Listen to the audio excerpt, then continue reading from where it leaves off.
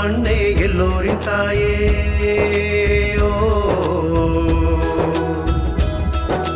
இந்த மண்ணே எல்லோரின் தாயே இதனின் மகத்துவம் சிறந்ததாகுமே. ஓ. இம்மண்ணின் மேல் நம்பிக்கை விவசாயியே. மணி மணியாய் கொட்டும் பயிரை தருமன் நம்மை காத்திடுமே. மணி மணியாய் கொட்டும் பயிரை தருமன் நம்மை காத்திடுமே. இது எல்லோரை காக்கும் தருணமே. இது எல்லோரை காக்கும் தருணமே. நம் தாய் மண்ணின் மடியிலே. தாய் மண்ணின் மடியிலே.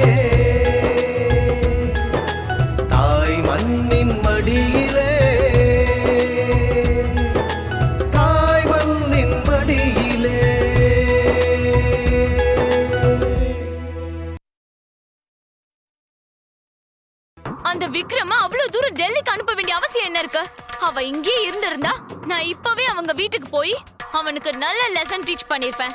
அதுக்கப்புறம் அவன் என் போனே கட் பண்றத மறந்திருப்பான். இந்த தடவை ஊர் தலைவர் தேர்தல்ல நீங்க போட்டியிடுங்க. இல்ல இல்ல இல்ல இல்ல. எனக்கு அதெல்லாம் தேவையில்லை. எங்க அப்பா சரியா தான் சொன்னாரு. சொந்த அண்ணனைய ஏமாத்துறவ என்ன ஏமாத்தாம இருப்பாளா? மம்மி உங்களுக்கு புரியலல நான் மீதி ஷாப்பிங்க டெல்லியில தான் செய்ய போறேன். அப்போ இந்த சூட்கேஸ் ஃபுல் ஆயிடும்ல?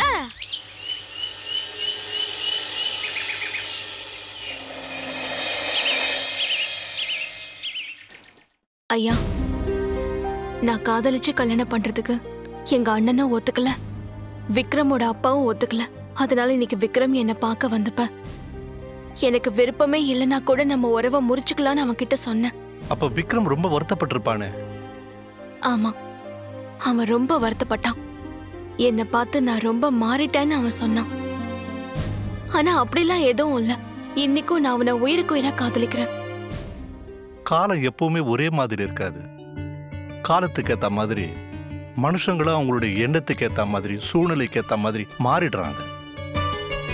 ஆனா யாரெல்லாம் மன உறுதியோட மாறாம இருக்கிறாங்களோ அவங்களாம் ரொம்ப கஷ்டத்தை அனுபவிக்கணும்.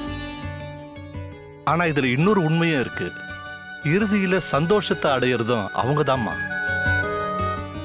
இனிமேல் நீ தான் முடிவெடுக்கணும். துக்கங்களை தடைகளை பிரச்சனைகளை எதிர்கொண்டுகிட்டே உன்னால வாழ முடியுமா முடியாதாங்கிறத நீ தான் பார்த்துக்கணும்.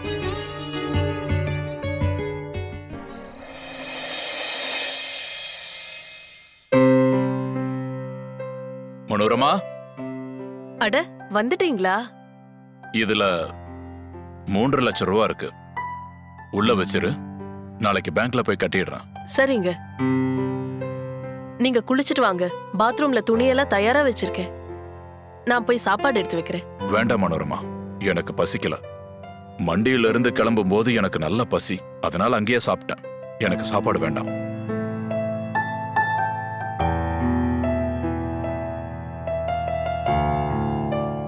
இன்னைக்கு விக்ரம் வந்திருந்தா. என்ன? விக்ரம் வந்தானா? அவன் பாட்டுக்கு வந்தா எப்படி? அவன் இப்பதானே டெல்லியில புது பிசினஸ் ஆரம்பிச்சிருக்கான் இப்படியே அவன் அடிக்கடி கிராமத்துக்கு வந்துகிட்டே இருந்தா வேலை எப்படி நடக்கும்? அவன் எதுக்கு வந்தான்? எங்க அவன்? கூப்பிடு. அவன் கிளம்பிட்டாங்க. நீ என்ன பேசிட்டு இருக்க? இப்பதானே நீ விக்ரம் வந்திருக்கான்னு சொன்ன? இப்ப என்னடா கிளம்பிட்டான்னு சொல்ற? அது வந்து அவன் ரூபாவை பாக்குறதுக்காக வந்திருக்கான். இத நான் எதிர்பார்த்தேன். நாயோட வாலை எவ்வளவுதான் நிமித்தினாலும் அது நிமிரவே நிமிராது. முதல்ல நான் சொல்றத அமைதியா கேளுங்க. என்ன கேட்கணும் அவன் பாட்டுக்கு அவன் இஷ்டத்துக்கு பண்ணுவான்.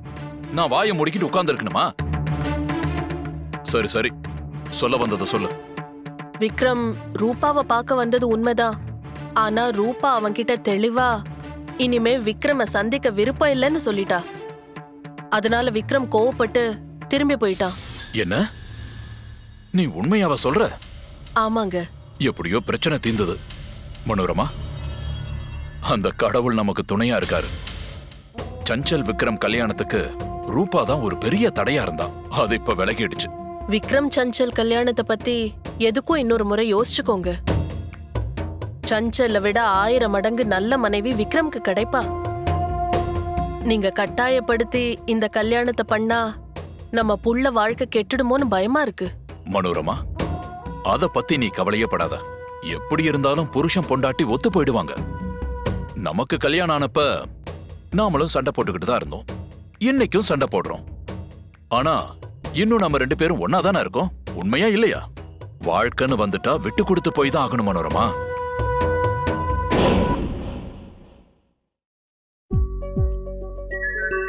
எனக்கு ஏதோ ஸ்பெஷலான ஐட்டம் ரெடி ஆகுதுன்னு நினைக்கிறேன் சோனியா.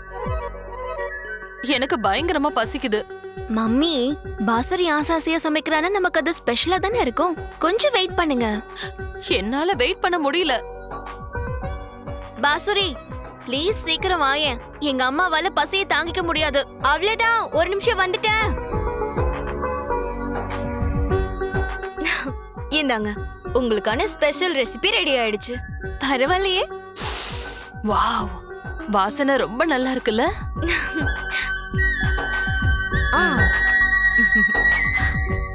போதும் போதும். சீக்கிரம்.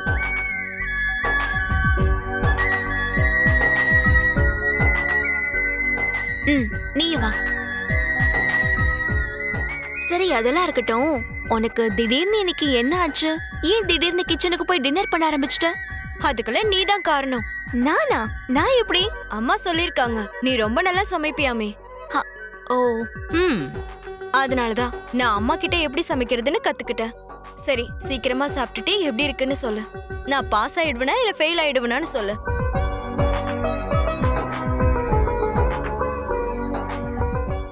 பர்ஃபெக்ட் இதுக்கு நான் உனக்கு ஃபுல் மார்க்ஸ் தருவேன். நிஜமாவே ரொம்ப டேஸ்டியா இருக்கு. தேங்க்யூ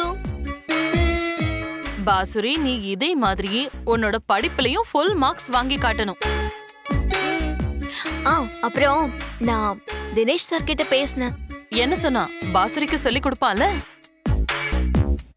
ஆ, அவருக்கு புரிய வைக்க ரொம்பவே கஷ்டமா இருந்தது. இருந்தாலும் ஒத்துக்கிட்டாரு.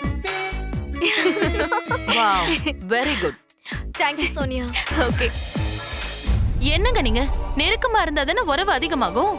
என்ன பொறுத்த வரைக்கும் நீ தான் நம்பர் ஒன்னு லூசு விக்ரமோட இருக்கணுங்கிறதுக்காக தானே நம்ம பொண்ணை நான் இப்ப டெல்லி வரைக்கும் அனுப்பி வைக்கிறேன். மடியிலே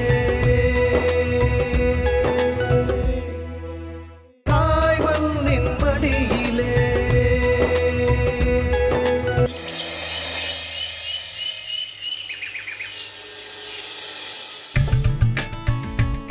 சரிதானே? சரிதானே. டீ குடிங்க. ம். எடுத்துக்க பல்லு. அது சரிண்ணா. இந்த முறை பஞ்சாயத்து தேர்தல்ல யார் யார் நிக்கறாங்க? என்ன நீ? இதையெல்லாம் தெரிஞ்சுக்கிட்டு நீ என்ன பண்ண போற? யாரா இருந்தா என்ன? ஆம்பளைங்க விஷயத்துல நீ ஏன் தலையிடுற? என்ன மாலதி நீ என்னமோ அந்த காலத்து ஆள் மாதிரி பேசிட்டு இருக்க? இப்ப அவ என்ன தப்பா கேட்டுட்டா? நாங்களே நாலு வீட்டுக்கு போய் இந்த தேர்தல்ல பெண்களும் நிக்கிறதுக்கான வாய்ப்பு இருக்குங்கிறத சொல்லிட்டு வந்துட்டு இருக்கோம். நீ என்னடானா நம்ம வீட்ல இப்படி பேசுற? ஆனா இதெல்லாம் ஆம்பளைங்க வேலை தானே மாலதி அண்ணி இதெல்லாம் ஆம்பளைங்களோட வேலைன்னு யார் சொன்னது? சேகர் தம்பி என்ன சொல்லுவார் தெரியுமா? எந்த சமூகத்துல ஆம்பளையும் பொம்பளையும் ஒன்னா சேர்ந்து செயல்படுறாங்களோ அங்கேதான் வளர்ச்சி ஏற்படுமா? இது எவ்வளவு நல்ல விஷயம்? ஆமா ஆமா இங்க பாரு ரூபா பஞ்சாயத்து தேர்தலை பத்தி உனக்கு எந்த சந்தேகம் இருந்தாலும் கேளு. தப்பே இல்ல. தயங்காம கேளு ரூபா. என்ன ஏன் பாக்குற?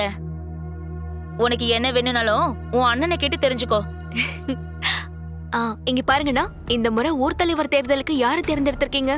அது வந்துமா சேகரனை நிக்கணுங்கிறது தான் எங்க எல்லாருடைய விருப்பமும் ஆனா அவர் தேர்தல நிக்க விருப்பமே இல்லைன்னு சொல்லிட்டாரு. ஆமா ரூபா. சேகர் தம்பி என்ன சொல்றாரு தெரியுமா? இந்த கிராமத்துல இருக்கிற விவசாயி தான் தலைவராகணுமா நீங்க இப்படியே யோசிச்சு பாருங்க. சேகர் சித்தப்பா இந்த பதவியை விரும்பலையோ என்னவோ. ஆனா இன்னொரு விஷயமும் இருக்கு. இந்த கிராமத்திலேயே ஊர் தலைவர் பதவிக்கு அவரை விட தகுதியானவர் யாருமே இல்லைன்னு தான் சொல்லுவேன். விவசாயம் அவரோட வேலை இல்லைன்னா அதனால என்ன? பிறப்பிலே சேகரனே விவசாயி தானே? அவர் பிறந்ததே இந்த கிராமத்துல தான். இந்த கிராமத்து மண்ணில் தான் படிச்சு அவர் டாக்டரும் ஆனாரு. பல்லு அதனாலதான் இந்த கிராமத்து மண்ணை அவரை அழைச்சிக்கிட்டு வந்திருக்கு. இங்க பாருப்பா தேவராஜ். சேகர் தம்பி இங்க வந்த உடனே நம்ம எல்லாரும் சேர்ந்து அவரை தேர்தல்ல நிக்க வைக்க சம்மதிக்க வைக்கணும். நீங்க சரியா சொன்னீங்கண்ணே.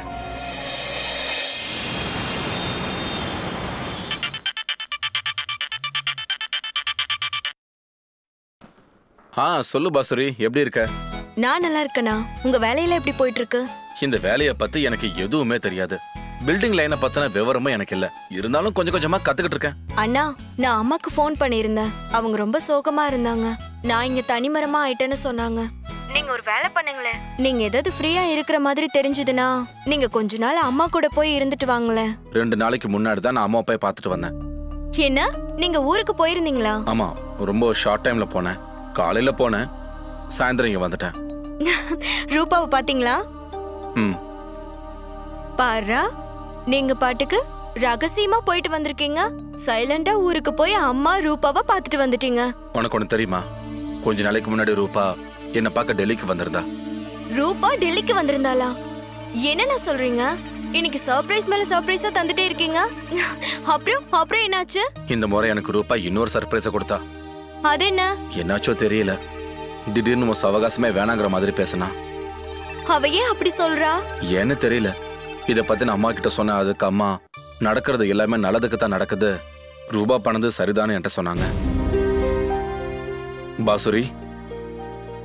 பாசுரி. சொல்லுங்கண்ணா. பாசுரி நீ ரூபா கிட்ட இதை பத்தி கொஞ்சம் பேச. அவ ஏன் இப்படி பண்ணா நீயே கேட்டு சொல்ல. ரூபா செய்யறது சரிதான்னு அம்மா சொன்னாங்கல்ல.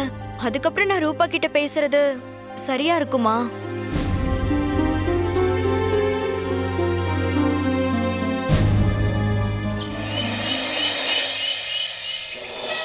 இத பாருங்க.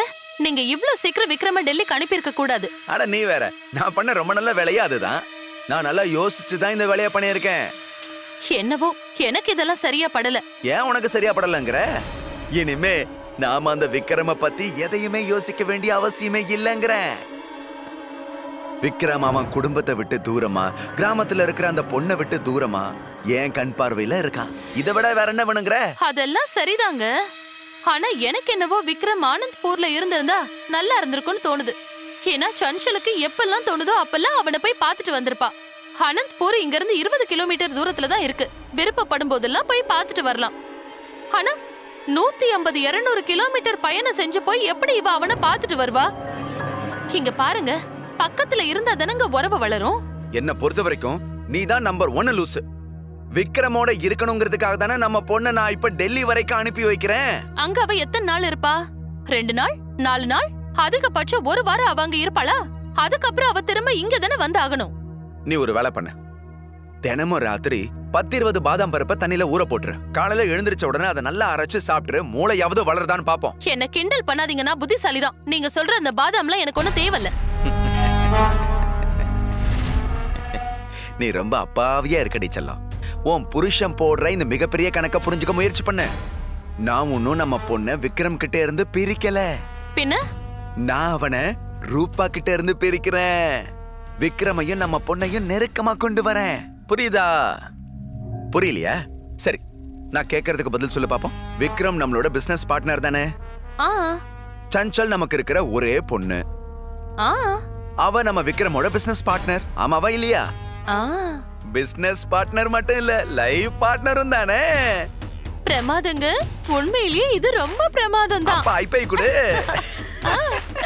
நான் இன்னொன்னும் யோசிச்சு வச்சிருக்கேன்.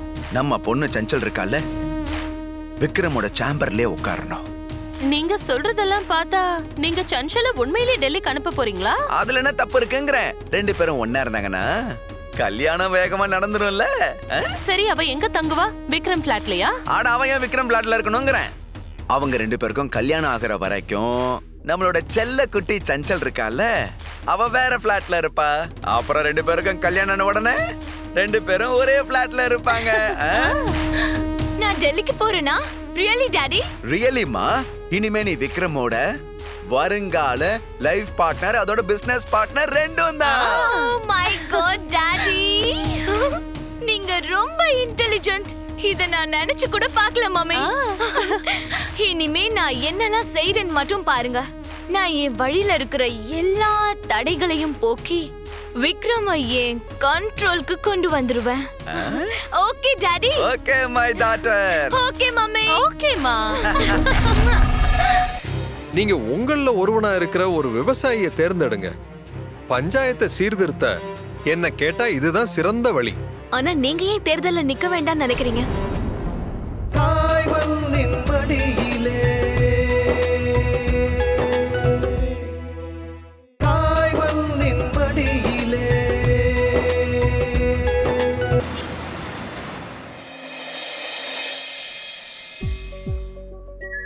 பாசுரி யார் வந்திருக்காங்கன்னு பாரு.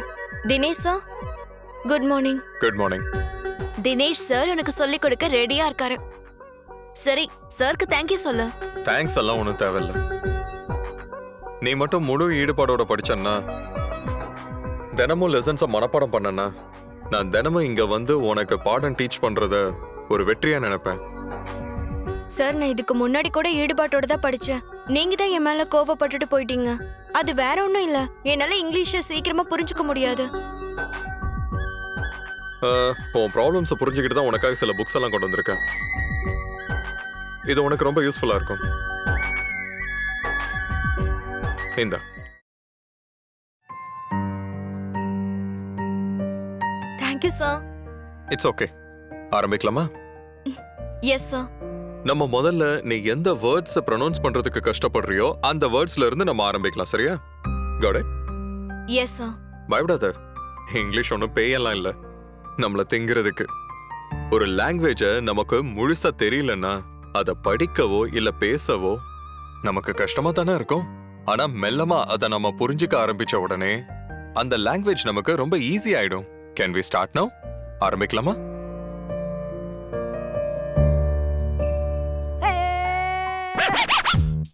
எஸ்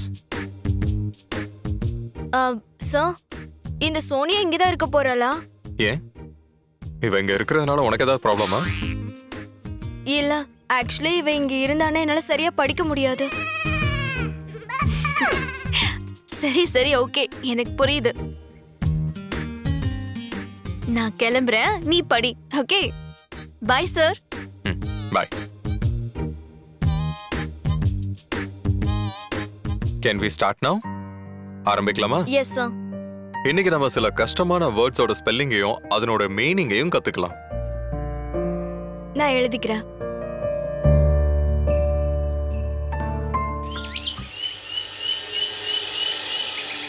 அதோ தம்பியே வந்துட்டாரு. என்னாச்சுன்னு தேவராஜ் விவசாயிங்கெல்லாம் ஏன் இங்க வந்திருக்காங்க? ஏதாவது பிரச்சனையா என்ன? நீங்க தேர்தலை போட்டியிட விரும்பல. ஆனா இவங்க எல்லாரும் நீங்க தான் போட்டியிடணும்னு சொல்றாங்க. விவசாயிகளோட நலனுக்காக நீங்க ரொம்ப உழைச்சிருக்கீங்க என்ன வேற யாருமே இந்த மாதிரி கிடையாது. தலைவருங்க வருவாங்க பேசிட்டு போயிருவாங்க. கூடவே பொய்யான வாக்குறுதி. ஆனா எங்களோட உண்மையான தலைவரே நீங்க தான் அண்ணே. ஆமாண்ணே. இது வரைக்கும் நீங்க தானே எங்களுக்கு வழி காட்டியிருக்கீங்க? இனிமேலும் அது தொடரட்டுமே. நான் உங்க எல்லாருடைய உணர்வுகளை முழுசா மதிக்கிறேன். ஆனா தேர்தல்ல உணர்வுகளை வச்சு போட்டியிட முடியாது. நீங்க உங்கள ஒருவனா இருக்கிற ஒரு விவசாயியை தேர்ந்தெடுங்க. பஞ்சாயத்தை சீர்திருத்த என்ன கேட்டா இதுதான் சிறந்த வழி. ஆனா நீங்க ஏன் தேர்தல்ல நிக்க வேண்டாம்னு நினைக்கிறீங்க? நீங்களும் எங்கள ஒருத்தர் தானே? நீங்க ஒன்னும் டெல்லிக்கு திரும்ப போகணும்னு யோசிக்கலல்ல? அதனாலதான் போட்டியிட மாட்டேன்னு சொல்றீங்களா? இங்க இன்னும் எவ்வளவோ செய்ய வேண்டியது இருக்கு. என்னால டெல்லிக்கு போகணும்னு யோசிக்க கூட முடியாது. அப்படின்னா சரி. நீங்க இங்கதான் இருக்கீங்க. நீங்க எங்க கூட தான் இருக்கணும். தலைவர் பதவிக்கு நீங்க நிச்சயமா நிக்கணும். நீங்க முடியாதுன்னு சொன்னா நாங்க கேட்கவே மாட்டோம். கேட்க மாட்டோம் கேட்க மாட்டோம். யார் எங்க தலைவர்? யார் எங்க தலைவர்? யார் எங்க தலைவர்? யார் எங்க தலைவர்? அமைதியா இருங்க.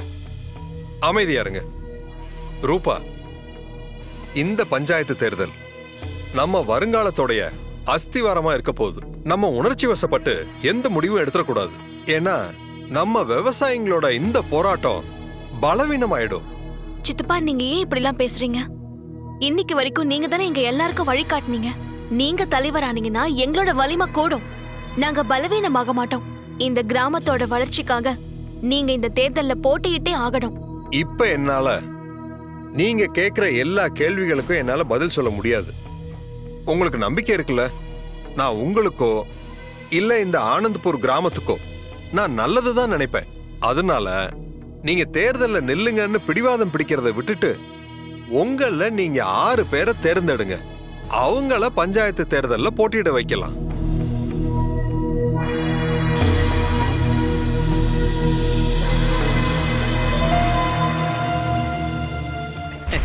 வணக்கம் சௌதரி சார். வணக்கம் திவாரி சார். வணக்கம் அண்ணி. வணக்கம். பிரமாதம். நான் கேள்விப்பட்டிருக்கேன். சாப்பிடுற நேரத்துல வர்றவங்க நண்பன் ஆயிடுவாங்கன்னு. அதே தூங்குற நேரத்துல வர்றவங்க எதிரி ஆயிடுவாங்கன்னு. அப்படி பார்த்தா நான் சரியான நேரத்துக்கு வந்திருக்கேன். பர்ஃபெக்ட்லி ஆல் ரைட் டைம் வாங்க உட்காருங்க சார். சரி.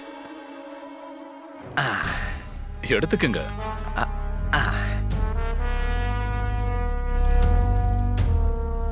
பா. நீங்க செஞ்ச பக்கோடா ரொம்ப நல்லா இருக்கா நீ? சுட சுட பக்கோடாவோட சுட டீயும் கிடைச்சா எப்படி இருக்கும்? மனோரமா? சொல்லுங்க. டீ போட்டு கொண்டு வா. சரிங்க.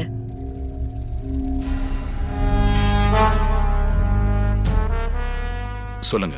என்ன விஷயம்? சௌதரி சார் எனக்கு ரொம்ப நல்ல ஐடியா ஒண்ணு வந்திருக்கு. அதனால தான் உங்க ஆலோசனை கேட்கலான்னு வந்திருக்கேன். வியாபார விஷயமாவா? வியாபாரம்னே வச்சுக்கோங்களேன். சொந்தங்கள் நடத்துற வியாபாரம்.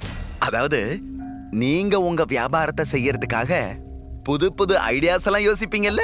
அதே மாதிரி உறவுகள் நடத்துற இந்த வியாபாரத்தை ஒன்னாக்கி கொண்டு போறதுக்கு புது புது ஐடியாஸ யோசிச்சுக்கிட்டே இருக்கணும் இல்ல? நீங்க சொல்றது சரிதான். உங்க புது ஐடியா என்ன? அது வேற ஒண்ணும் இல்ல. சஞ்சல டெல்லி ஆபீஸ்க்கு அனுப்பணும்னு யோசிக்கிறேன். என் பாதையில இருந்து விலகிடு. அதோட விக்ரம் கிட்ட என்ன மறந்துடுன்னு சொல்லிடு. அப்படி இல்லன்னு வச்சுக்க. விளைவு மோசமா இருக்கும். இந்த தேர்தல்ல தேவராஜ் நிக்கட்டும். நானா? இதுவும் ரொம்ப நல்ல யோசனை தான். அப்புறம் நம்மளோட பெண் போட்டியாளர்கள் யாருன்னு சொல்லலையே? என்னை பொறுத்த வரைக்கும் யாஸ்மின் அண்ணியும் ரூபாவும் பஞ்சாயத்து கமிட்டி மெம்பர்ஸ் தேர்தல்ல போட்டியிடணும்னு நினைக்கிறேன். பிரமாதம். ரூபா வீட்டுக்கு போய் அவளையே மிரட்டுற அதிகாரத்தை சஞ்சலுக்கு யார் தந்தது?